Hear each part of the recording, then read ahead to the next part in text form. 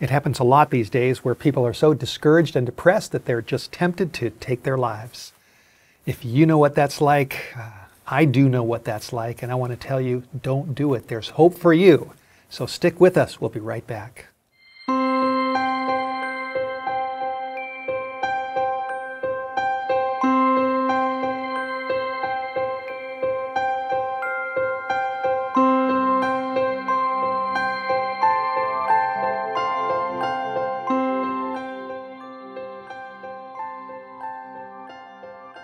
Hi, and welcome back to part two of a three part series called Finding Hope in Depression and Despair. Uh, I am Pastor Steve Wohlberg, and my guest is Christy Christopher, and we're here to share with you uh, what we've been through and how God has rescued us and saved our lives, and how He can save you too. Uh, Christy Christopher works for a man, at least as one of her jobs, his name is Dr. Neil Nedley. He is the uh, head physician and the director of a wonderful program called Depression and Recovery Program. Actually, the full program is called Anxiety. How do you say it? Uh, it's Depression and Anxiety Program. That's right, Depression and Anxiety Recovery Program. He's written a book called Depression the Way Out. Uh, Christy Christopher is my guest. She uh, works for Dr. Nedley during his program. Uh, she is a registered nurse in uh, Texas, in the Fort Worth area, in Dallas. Uh, and the, the hospital you work again, that's called Medical City? Uh-huh, Medical City at Dallas. Medical City, yes. And uh, Christy, in, our, in part one, she shared her story where she grew up in Pennsylvania and made some, some poor choices and got involved in the wrong crowd and started uh, also dealing with depression. And she had suicidal uh, thoughts and tried to take her life five times. But each time, uh, miraculously, she survived. Amen. And so, Christy, uh, we want to continue on with the story.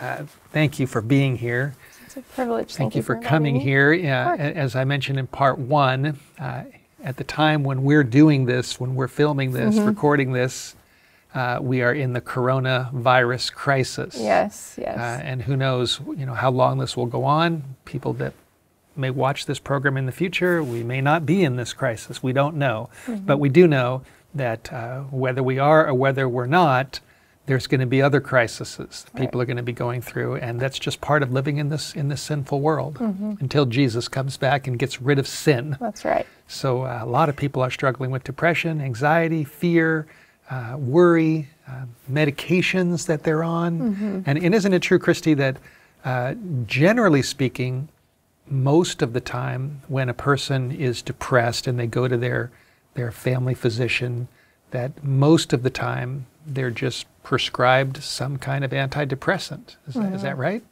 Um, sometimes women will have symptoms where they will just cry for no reason and men typically have more of that feeling of emptiness. And so the women will a lot of times go to the physician's office and say, I don't know why I'm just crying. And it, something simple may have happened and they just cry over something that normally they wouldn't cry about. And so a lot of times the physician will prescribe them an antidepressant at that point. And what about so, the men? Uh, the men do not seek treatment. I don't have statistics on this, but the men typically don't uh, seek treatment as often as women. So it's okay. actually uh, underdiagnosed. So is that why, uh, at least from what we read in the last last program, we talked about uh, the CDC and the World Health Organization, and they did say that uh, depression is more common among women than among men. And is that simply because the men don't get diagnosed as, I as would much? suspect. So in my opinion, I would suspect that. So it's probably yeah. equal. I would think so. It's probably underreported. Um, a lot of times, even with suicide, men are more successful because they will do uh, more fatal means to try to end their lives. Really? So. Do you think that a lot of people who try to commit suicide, if their attempt is unsuccessful, it's because maybe somewhere inside there they they didn't try hard enough? Whereas with the men, you said they're often more successful. With the women, do they?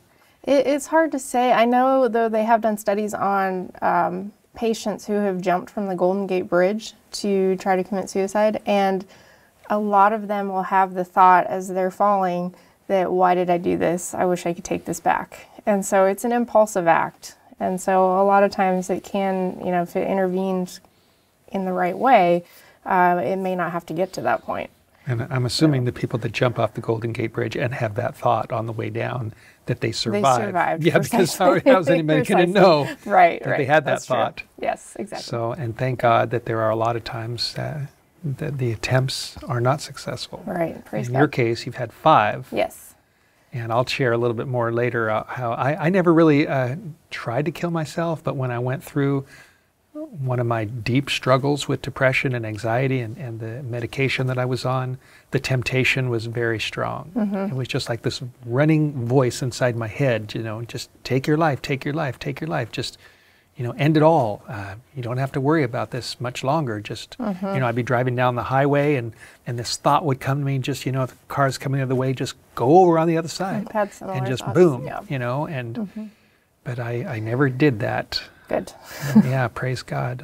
I'm thankful, glad. very thankful that, and, and that's behind me now. Good. You know, all that's behind me. I, I feel really good right now. We got up both this morning and uh, uh, we texted each other, and uh, you're staying not far from my house, and so we got up and we met this morning. We both went jogging at That about 6:30, and we were just in, in North Idaho. Yeah. Uh, my dog ran with us, and we are fun. both very thankful to be alive. Amen. That we both struggled with depression, we've struggled with anxiety, we've struggled with medication Mm-hmm. Yeah. and suicidal thoughts, but God has been good to us. Amen. That's right. Okay, so, uh, and we want to give people hope. That's That's why we're here. That's right. So let's go back to you, you mentioned that you had, you know, you were, you were married and your divorce uh, was a real, very difficult for you, and you have a seven-year-old boy, Mm-hmm. Yeah. and then you, uh, it was a failed suicide attempt in a in a hotel, Mm-hmm. Yeah. and after three days you woke up Yeah. and you survived, and it wasn't long after that that your your mother called you Yeah. and said that. Uh, I'm about to meet Dr. Nedley, or he's standing right in front of me, Yeah. Dr. Neil Nedley, and he connected you with him, Yes. and you enrolled in his program in Right. California, in Northern California, and uh, and you told us also that you your mother told you you get to go to California and lay out in the sun, That's not what happened. That's but that was happened. her that was the way she enticed you to go to Dr. enticed program. That's right, because I thought it was going to be fun and games, and we get to kind of lay out by the pool. But Yeah. um, dot dot dot, found out that it was more like a mental health boot camp. yeah. And so it was, it was vastly different, but it's what I needed. What I just needed. didn't know it at the time. Yeah. So okay. So tell. Let's just let's just follow on with your story. Um, just tell us about maybe your trip there, and then what happened when you got there. So the trip there was okay. I mean, there wasn't a lot of eventfulness. I just, you know, flew to California From um, DFW. From DFW, Probably, you probably landed in Sac, Sac Central, right? Landed in Sacramento Sacramento. International Airport. I was smoking at the time, so I had one last cigarette at the airport before Okay. Daniel picked me up. so um, Daniel, Daniel was the one that picked he's the, me he's up. the massage therapist yes, there too. yes, he's the the missionary pilot from Right. Venezuela that comes and does the program. Yeah, he has an incredible story. He does. He lives in the jungle in the bush. yes, it's And amazing. he helps kids. I know he's incredible. Him and his wife both they do a lot of mission and outreach and things. And he was he was a very um, he was very kind. Just I was very difficult. So Daniel picked you up at the airport Yes, and Um, yes. drove you an hour north That's to right. Weimar That's right. Institute. Yeah, and he he was trying to make small talk, but I was pretty closed off. Um, really, my thoughts towards other people, I just was pretty closed off and just wanting to just isolate, do my own thing, um, you know, stick with my bad habits, and just you know, everyone just kind of keep a distance. And uh, going to the program, I didn't know really what to expect, um, but I got there and it's not the poolside. Um, it was, you know, I had gone away from the church, and so I had a, a negative view about God and the church. And so when I got there, I realized it was a very spiritual atmosphere. Uh, I was not going to be able to smoke in that setting, and I just wanted out. Um, I was not on board with the program from the get go. I was pretty like, okay, I want out of here. I didn't know where I was going to go. I just wanted out of there. And, did you, did- were you still on medication at that point? Yeah. Do you remember what you were taking? Uh, I think it was clonazepam. It was one of the stair trip, stair step medications. I was on trazodone, Adderall, um, Cymbalta, and there was something else that they had me on. So I was on the five or six different heavy duty pharmaceutical drugs. And were you drinking at that point too? At that point, I wasn't. I just had been smoking, sober. and yeah, no just- other uh, drugs. no other drugs. Yeah, Okay. uh, prescription. And were you, and were you, um, as far as your thoughts about God, you said you just wanted no, really nothing to do with Him I didn't at that anything. point, Yeah. And you weren't planning on any of that changing. No, I was pretty. Now, I'm, I'm curious also, were you, how about your sleeping? Were you, a lot of people that go through the program, like when I went through it, uh, I, there was four days in a row, Oh. four nights in a row, where actually I didn't sleep at all. That was the worst of my insomnia, was Mm-hmm. Yeah. four nights in a row, no sleep. Yeah. It was awful. So how about you? Were you That's sleeping at that time? Um, sometimes I'd stay up 24 hours and then just hit the ground running. Just you know, and there'd be times I was just, I don't know, it was just adrenaline, I guess. I was- but I had issues with sleep too. A lot of insomnia, a lot of anxiety. Um, sometimes I'd just lay there just with racing thoughts and just I didn't know how to turn my mind off. I'm Yeah, I just like totally it kind of to turned that. against me in Yeah, a way. can't and I'm turn like, the how mind do I off. turn this off? Right. Now, at that Yeah. time, you were still, uh, you were an RN at the Medical City Hospital, correct? That Uh, was your at that full-time point, job? it was at a level one trauma center. So I worked in intensive care. So there was, uh, we'd have care flights fly in, traumas, people mass transfused. So it was a lot of um, high intensity situation, life and death Wow. situations at work on And you a were on medication basis. during that whole time. I was on medication. Yeah. Yeah. Did that affect so- your ability to think? Uh, I'm sure it did. Um, at the time, I was able to still do, you know, have good reviews at work by God's grace and still be able to take care of patients. But, you know, when Dr. Nedley saw the list of medications I was on and what I did, he's like, okay. he's like, your brain is operational. We need to get you off of this stuff and get it better. We could optimize it. So it was, it was, it was hard. Well, so you were on medication, you were still smoking, you didn't want God, you didn't, you thought Weimar was going to be a vacation. yeah. You didn't really know what you were getting into. You were there because your mother wanted you there. She knew what you, you were you were going to be getting into. Right. Right. And so you you landed there. Daniel, who's a, one of the massage therapists, picked you up, drove you, uh, and you drove on the campus. And then what happened? Ooh, um, I, I was upset. Uh, you know, I I think I took my cigarettes and went down to the river or something, and I was trying to take these tests because they have you take a bunch of tests when you first come in, like you know your PHQ-9 and your DAT test, and so I'm answering all these things, and you know I just was not a happy camper. I just didn't want to be there. so it was uh, it was hard. I, I feel bad looking back of how difficult I was to deal with. And I feel sincerely sorry towards Dr. Nedley for, you know, that was difficult. The staff really was patient with me, really, really patient. They they basically loved me back to life, is how I how I term it. So, So the the Nedley program, um, you're you're with how many? About 19 other people or 20 other people? 23. And you're there for 10 days, For and, 10 y- and days. you're pretty much isolated from the rest of the world. Right. And you're given a room. Right. uh, I'm assuming at the Weimar Inn. That's it. You had a room at the inn. I had a room at the inn. Uh huh. And then they have sort of an orientation that Yeah. kind of tells us what to expect. You fill out some paperwork. Right. And you look around, you see other people that are depressed and Yeah. anxious and not sleeping. And one thing they told me, or they told the group, that when you get up in the morning, if you're making friends with the with the other participants, that they don't want you to, you know, ask like if I saw you in the morning, you know, how'd you sleep? Yeah. They don't want you to say how'd you sleep, how'd you sleep, how'd you sleep, Right. because most or a lot of times people don't sleep well, Right.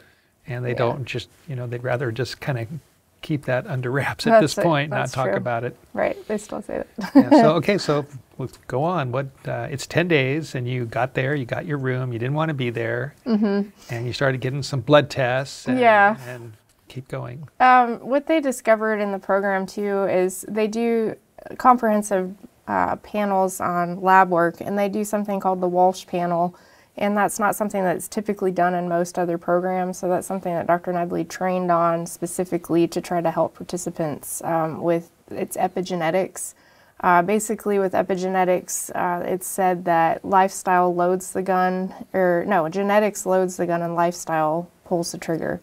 And so some things can actually be changed. And so, uh, in looking at some of the genetic uh, profiling, though, that he did discover I have a metal metabolism disorder. So, what that is, is typically you'll have ceruloplasmin that's kind of the carrier for copper that will draw that out of your cell. Uh, if it does not do that, there's some sort of dysfunction. It can manifest itself with uh, depression and low norepinephrine or high norepinephrine, and basically like a you just don't take a lot of pleasure in life. Mm-hmm. And so that's what I had. And so there was a genetic component too. So, the, the, so with the copper, does that mean that there's more copper floating around in your bloodstream? Yes, precisely. So yeah, so it's it's interesting that you have similar to what I what I had because uh-huh. I when I got to Weimar for the first time I this was in the summer of 2017. I was very depressed. Uh-huh. And I was on lorazepam, and I mentioned that last program. That's why Dr. Nedley told me on the phone, you've got to get down here. And, uh, and I went there, and I was, you know, all, all mixed up and messed up. Didn't know if there was if it was possible that anybody could help me. Uh-huh. And they did the blood work just like they did with you. And doctor mm-hmm. Ned looked at my chart, and he saw that in my brain I, there was a, a, very elevated norepinephrine, just like with okay. you, uh-huh. and there was very elevated uh, free copper, yes, just like with you, right? Yeah, and exactly. and those you know imbalances contribute to all kinds of problems, mm-hmm. and, and, I've learned that, you know, as we've talked about, uh, sometimes people are depressed because of some event that happens in their lives, or they don't have hope, or they're just you know discouraged because of finances or a marriage or whatever else. And there are other times that there's just a, a, chemical issue going on in the brain. Right.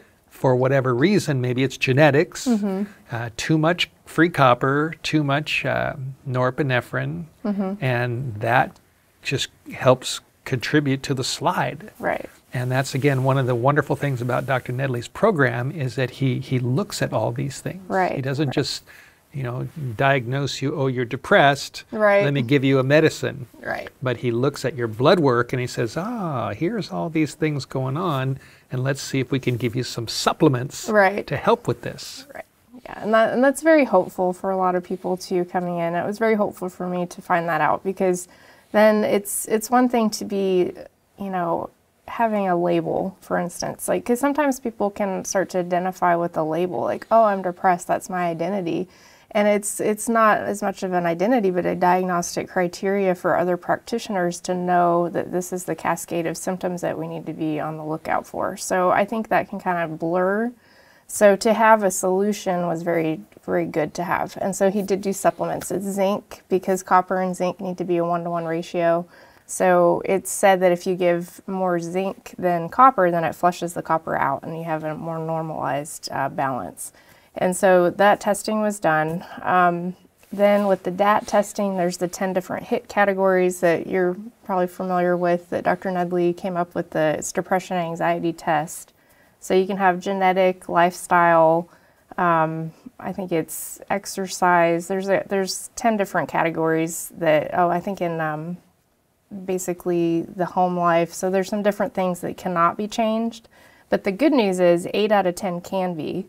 So when I went through the program, I had nine out of ten hits, which, so which showed, which explained the fact the depression. Right. You're right. depressed because boom, boom, boom, right. boom, boom. Exactly. And so we started to kind of those started to change. I was being taught as you go through the program. There's a lot of lectures.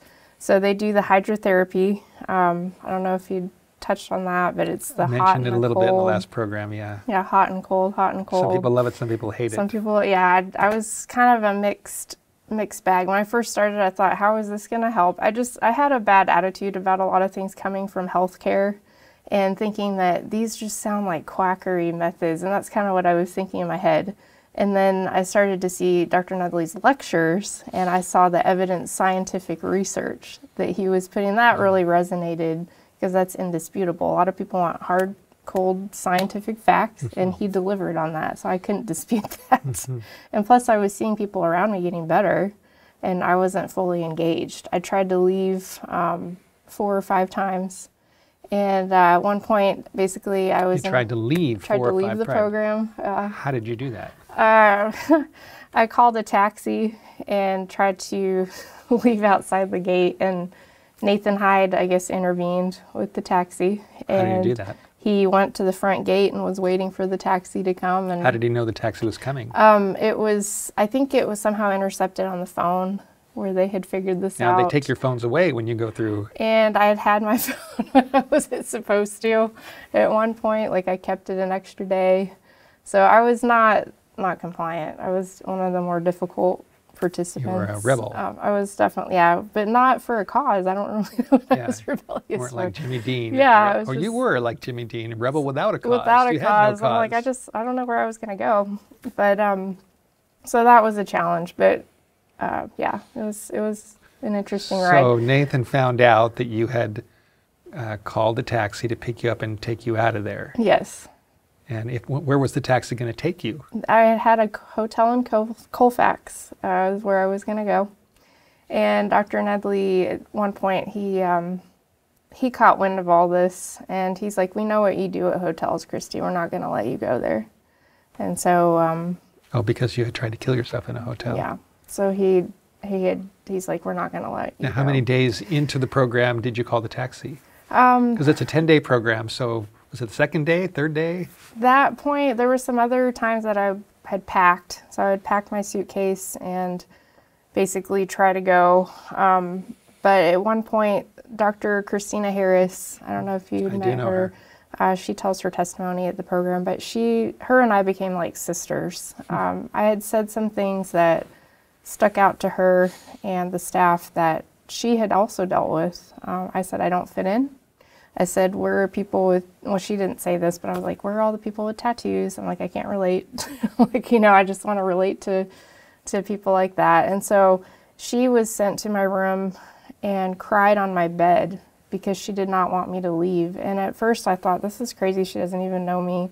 Why does she care? Really? And she showed me empathy that day that someone loved me enough to say, no, we're not going to let you do this. And do you remember, was this the second day or third day or fourth day or fifth day? Um, that specific instance, I think, was the second day. Second day, so early on. Now, just to clarify for those that are yeah. that are watching this, the the the, the Weimar Nedley program, it's it's ten days, and there's about twenty people there, and then they're surrounded also by uh, a very qualified Yes. group of loving.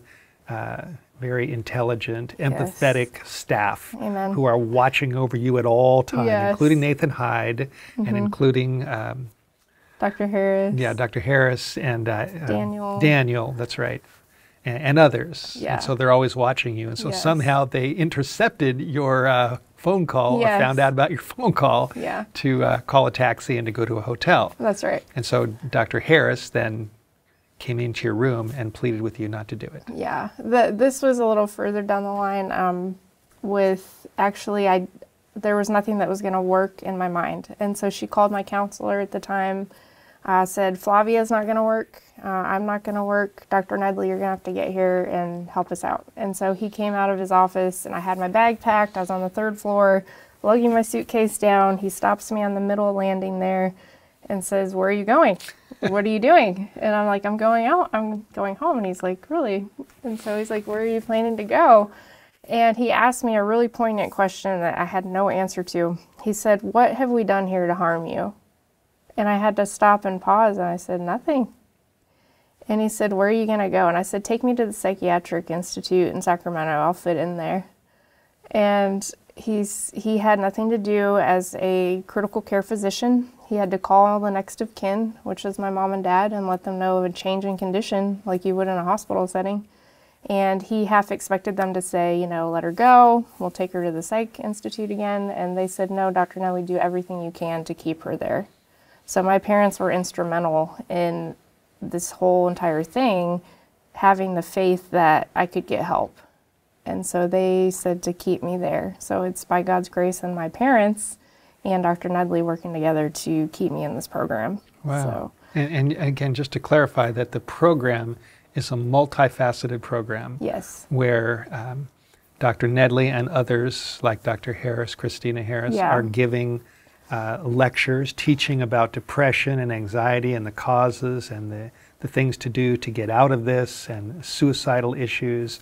So you have lectures, you also Mm-hmm. have, uh, you're given a, a plant based, uh, very healthy diet for Yes. Mm-hmm. your meals. Your phone is taken away, Yes. except for 45 minutes in the evening, at least that's what it's supposed to be. Same, But yeah. you had you had kind of circumvented that and kept your phone. Yeah. And then you also have hydrotherapy, which is hot and cold water treatments. You get massage. You Mm-hmm. Right. have a, a a very vigorous uh, exercise program. Yes. Uh, lights out at nine o'clock. Mm-hmm. I remember uh, uh, Daniel knocking on my door 5:30 every morning, time to Mm-hmm. Get up and exercise. That's right. That's right. And so it's a very intense program that, that deals with a whole host of things, basically to try to reboot your, your, your body and your mind and your Right. life, along with the blood work and Dr. Nedley looking at all the details that he sees in the charts Right. and recommending supplements. So it's this whole combination of it's kind of like a health boot camp. yes. And all the and the staff are all you know committed to helping you get through this. That's right.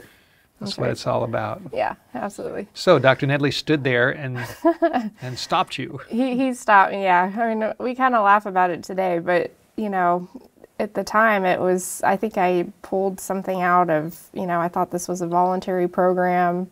Uh, let me talk to my lawyers, and we, Dr. Nedley and I, if he were sitting here, we'd be laughing about it, and I've apologized because I was just ridiculous.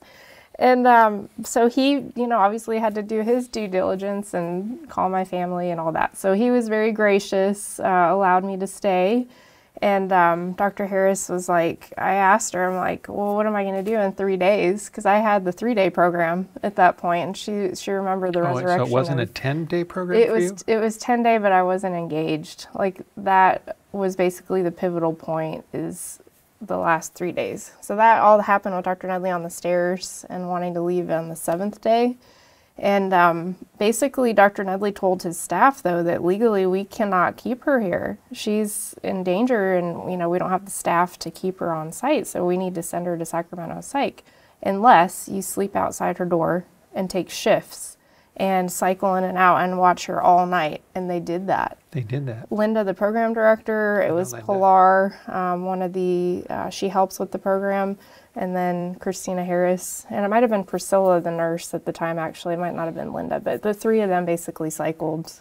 And all they slept outside night, your slept outside of my oh, door. Oh, wow. I had no, I had no idea this was Wow. happening. Yeah, I slept all night. You know, yeah, I I wonder how, I mean, I'm sure there's so many people that struggle with these issues that if they had, if they were in an environment surrounded by people that were trying to help them, Yes. you know, how many people would get out of this? Yes, exactly. And what we'll talk about at the in the last part three, we'll go into the resources that are available to people because they don't. If they go through the 10 day program, that's fantastic, but some people can't afford that. Right. And so there's other options. Yes. Mm-hmm. There's a home program, there's a community program, there's different programs, different Yeah. ways. So we'll get into all that. Uh, but I want to well, let's go back to to um, you know at what point did you feel like exercising and eating a good diet uh, was beginning to actually help you? So you, you, you know, when did you kind of get on board? What was I mean, Dr. Nedley stopped you, but when did you, when did you decide? I I really, I, I'm going to give this a try. It was the last three days. Um, I was very engaged, but Dr. Nedley said, "Well, you've had the three-day program. You need to stay."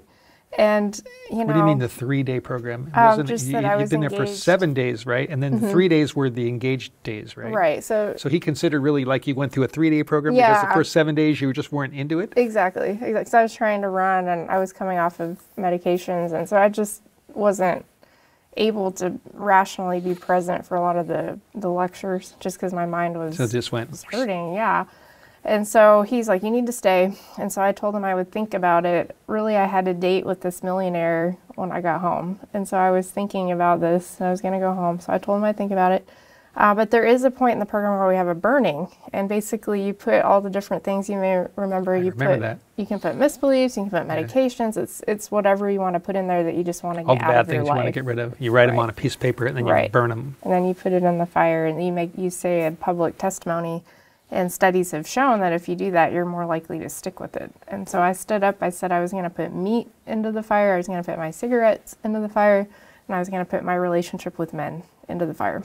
And so i put all those things. The staff was pretty happy about those. They weren't expecting a lot from me. They weren't sure what i was even going to put in so they were happy about that.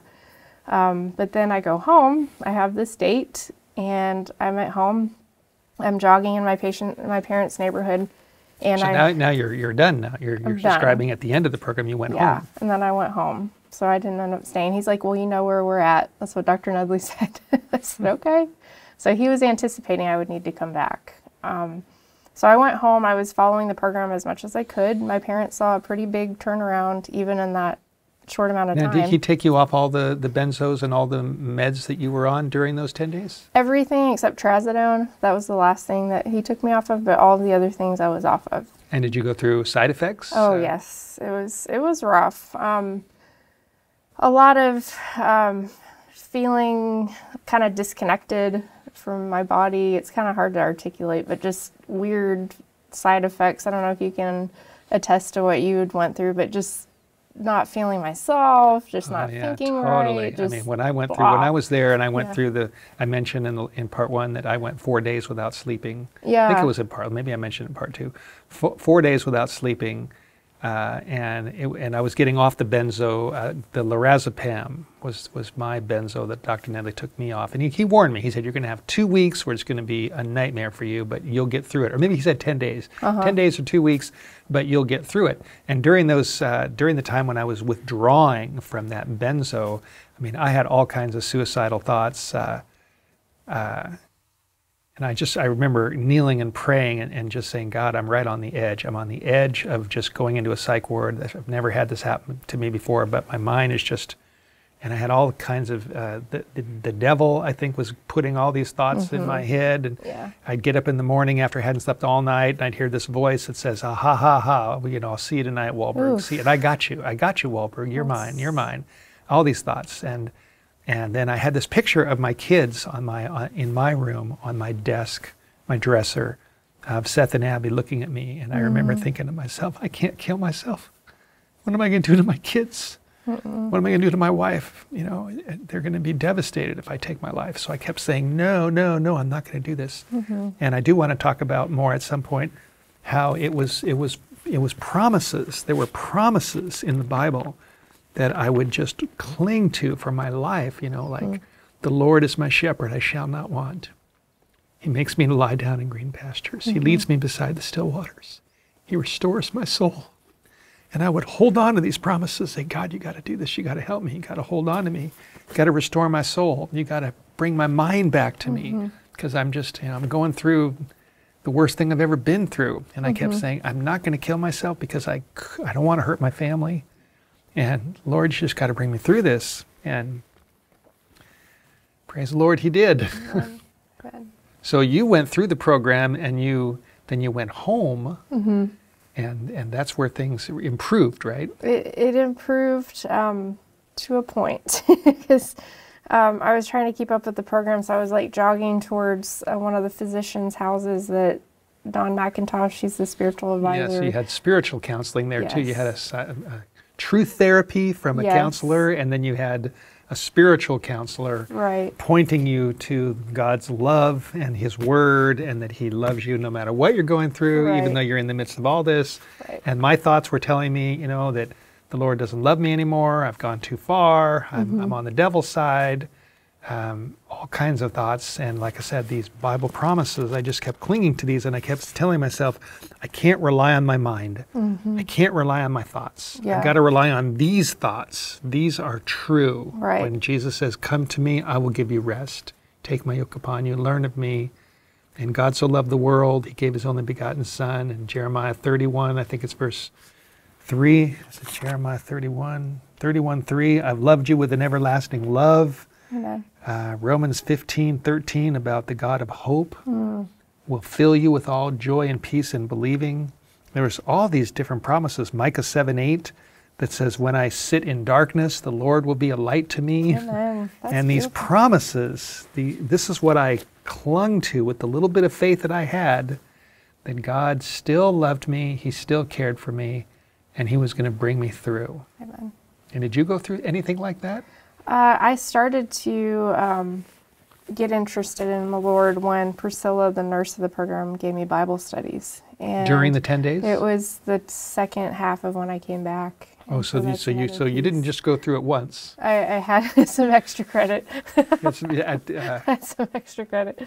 Yeah, um, but I Yeah. did go through what you're saying though that that spiritual darkness and looking back on it now, uh, I see it as a great controversy experience, and a lot of participants do come in with that same battle. And it's a spiritual battle. And um, I'm not saying that's the answer. I mean, there's a lot of brain chemistry and things, but but Jesus is the solution to any of our problems here on this earth. And to not accept that is doing oneself a grave disservice uh, because he's the one, he's the only one that rescues us. And he promises to save us. And so that was pivotal in my recovery, was accepting the Lord. And was so. that, so there was the first 10 days, then you went home. When did you uh, re-accept the Lord, or when did you discover that this was really a spiritual battle? Because you said that uh, in, the last time that when you, in the last program, when, that when you got to Weimar, you were not interested in God. No. You had left the Lord. You had left the church. You weren't praying anymore. Right. You had all these bad mm-hmm. habits, and yeah. you weren't really interested in God. That's right. So, at what point did you start to think, well, I'm going to give you another chance? well, I see His hand over the whole entire thing, um, but like kind of back to what led me back for the extra credit, and then that and kind how long ago was in. that? How far um, when you when you left and you went back to Texas? How many was it? Days, weeks, months until you went back to Weimar? It was about a week. About I think week. it was about seven days, and okay. so I was trying to do all this stuff on my own though, thinking, oh, you know, I've got all this program algorithm, I've got this figured out, you know, I could do this at home, not realizing that I still had more work to do. And Dr. Nedley is the physician and I'm not. And I was trying to go on my own understanding and do what Christy wanted not what the professionals recommend. I don't recommend that. Um, but basically, I was jogging towards the doctor's house that um, Pastor Don had tried to set me up with because nutritionally they do a lot of the lifestyle um, you know, plant-based diet and things like that. And, and this so, doctor was in Texas, and, right? Yeah, and he lived so in my set parents' you up doesn't mean he was trying to connect you oh, with, no, as a boyfriend. Yes. No, no, no. He was trying to basically um, connect you with a resource a influence. Yeah, for to, you in so from Northern California, right. Pastor Don connected you with a doctor in right. Texas that you could right, so that I'd have a resource. Help. Yeah, more resource.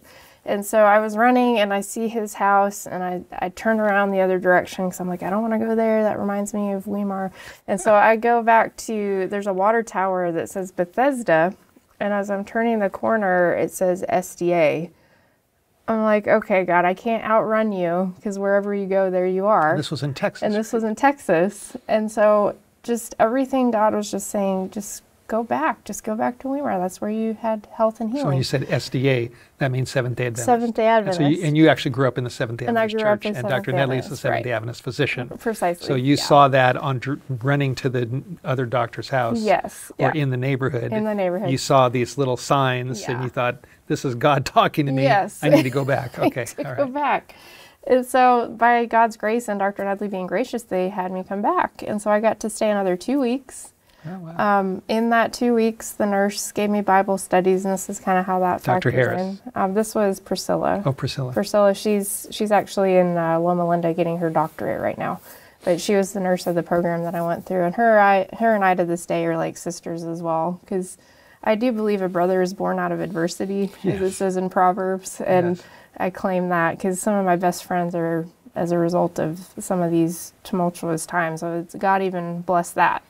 So you had So- Bible studies the second time, part two. Yes, part two. And what were the what were the topics and what were what really affected you the most?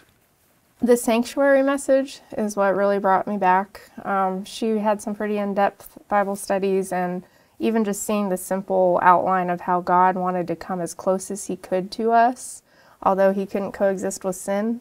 But He wanted to be that close to us because He loves us that much that He did everything He could to be that close and invite us into His house.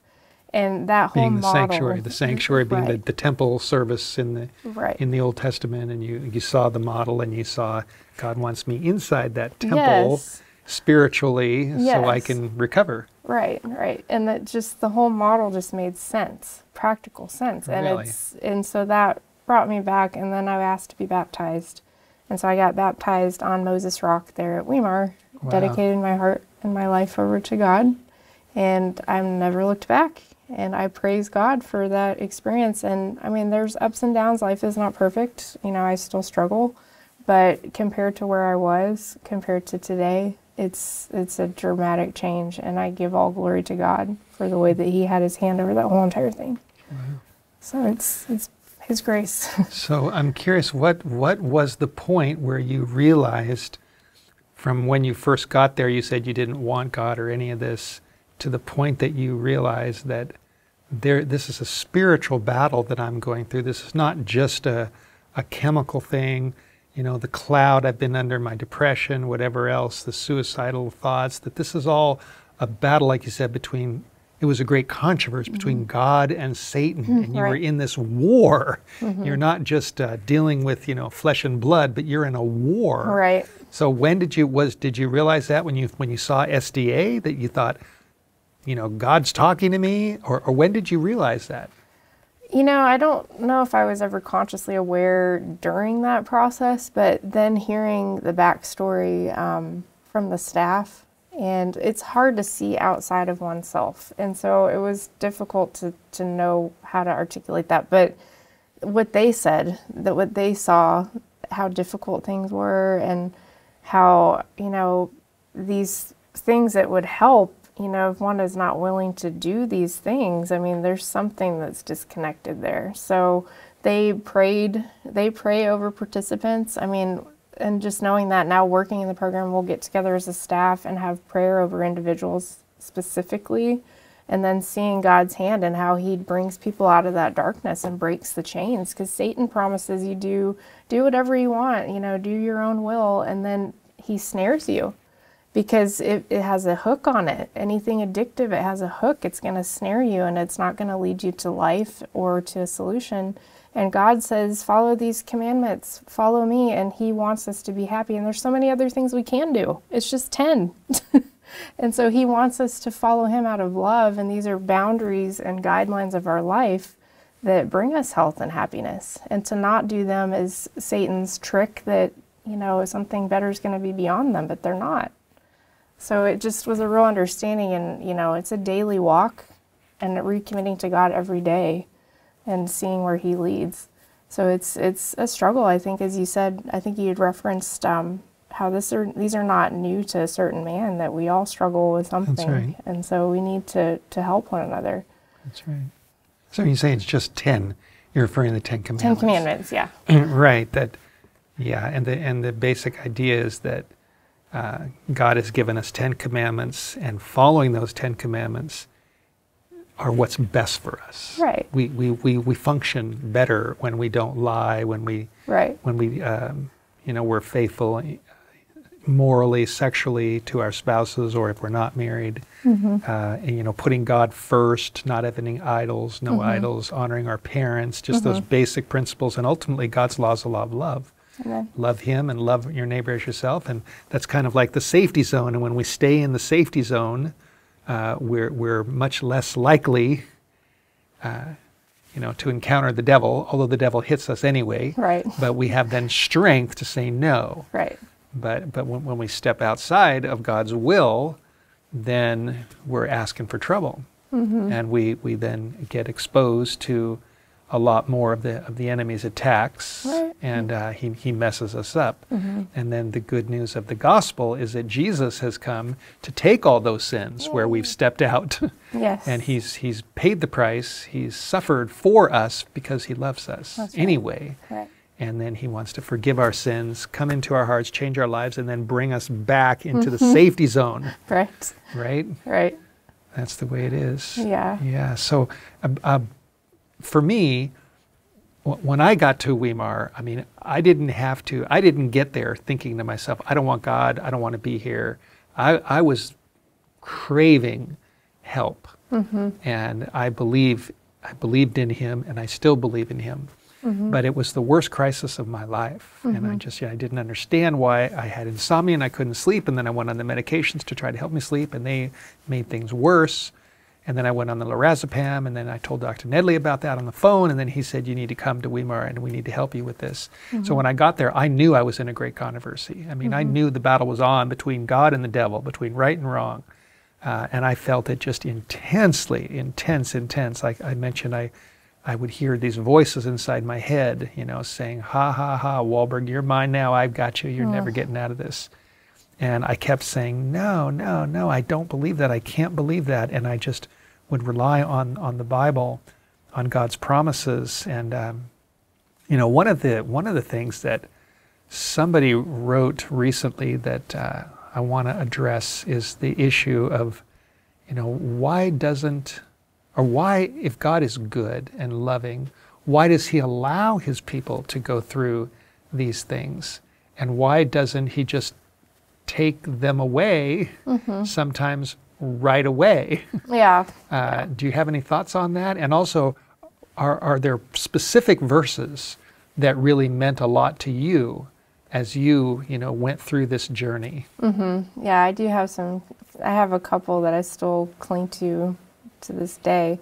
Um, but some of the thoughts, I guess, referring to spirit of prophecy, there was something that resonated with me, and I believe it's in Ministry of Healing that talks about how God doesn't just put worthless ore into the fire, He tries His precious jewels under the fire of affliction.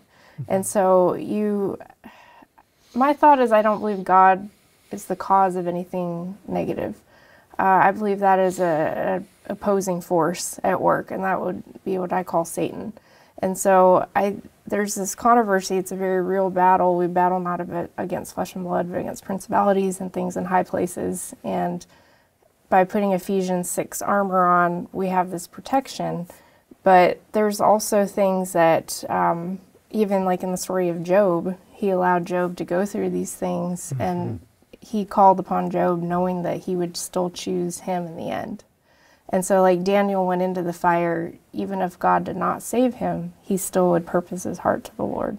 So there's a real, um, a real battle. But I guess in saying that, it would be more. I'm thinking of like the he's trying his precious jewels into the fire. It's building our characters um, that's my thoughts. What, what are your thoughts on yeah, that? Yeah, yeah, exactly. Uh, I finally learned.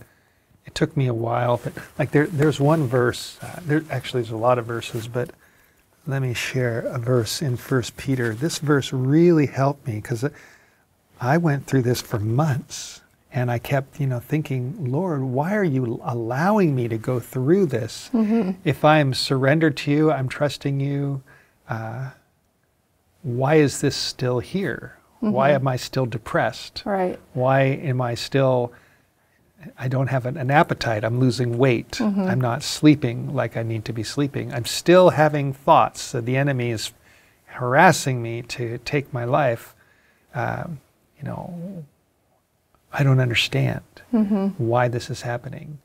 And there, there, there's been a number of verses that really helped me, but one of them was First Peter chapter 5, verse 10, it says, But the God of all grace, who has called us to his eternal glory by Christ Jesus, after you have suffered for a while, mm, that's profound. he will make you uh, perfect. He will establish you, He will strengthen you, and He will settle you. Amen. And I read that and I thought, it says, after you have suffered for a while. So I thought, well, I don't know how long a while is, but I need to trust him in the midst of this because this is not going to go on forever. Mm-hmm. This, it's just, it's a while.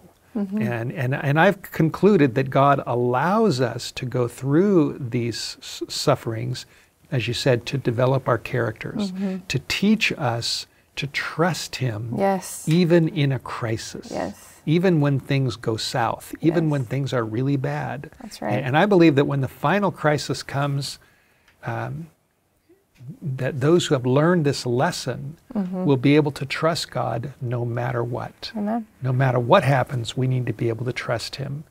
And that He, he ultimately that He's good, mm-hmm. that He cares for us. Amen. He wants what's best for us. Right. He's going to bring us through this, mm-hmm. and we're going to learn lessons all along the way. And when it's all over, um, we'll be glad that we went through this. I mean, right. I, have been through. I mean, to me, it was you know, as you went through. I my struggles were just to me they were uh, cataclysmic. Mm-hmm. And but now that the Lord has brought me through them and my mind has snapped back and my, you know I can get up and go jogging yeah, with you this morning.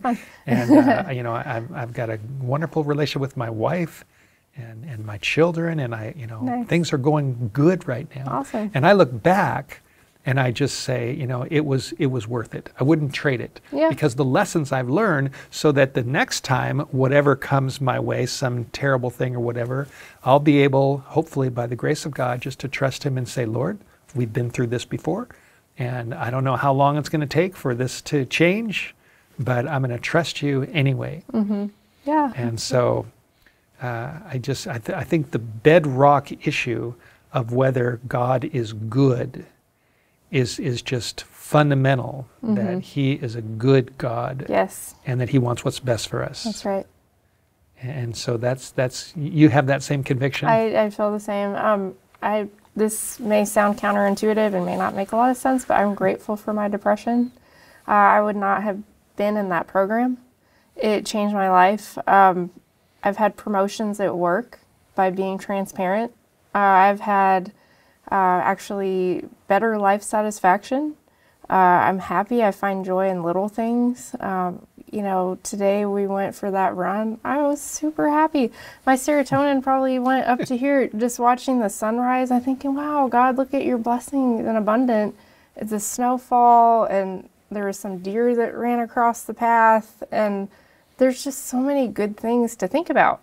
And I'm like, oh, just there's so many beautiful things to be grateful for and to give thanks for. So I'm just so grateful for that experience, not for the the suffering, but I do believe it led me to better things.